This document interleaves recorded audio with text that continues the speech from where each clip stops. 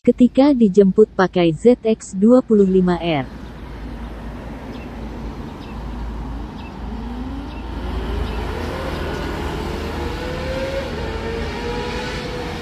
A few moments later.